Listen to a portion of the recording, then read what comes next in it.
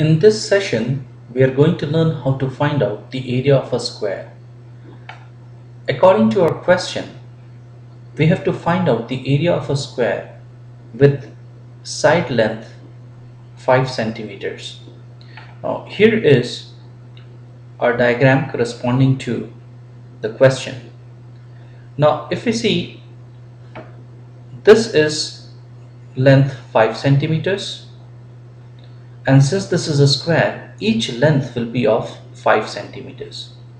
In order to find out the area of any plane figure we must divide the area into squares of unit length.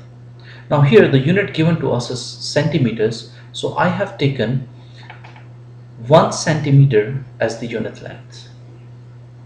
So I have divided this 5 centimeter side into squares of length 1 centimeter. So I will get 5 squares on this side. Similarly, this is again 5 centimeters, so I get 5 squares over here.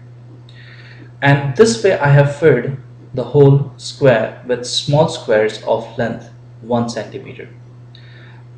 Now in order to find the area of the square with 5 centimeter side, I need to count all these small squares. So my area is equal to the number of squares that I have. And clearly I have here 25 squares. So the area is 25 centimeter square. Now this is one way of finding out the area. Another way of finding out the area is of course to use the formula area equals base times height. So I need to fix a base and I need to fix the corresponding height. So I'm choosing this side as the base. Now the corresponding height will be this side. Why? Because the angle between the two sides is of course right angle.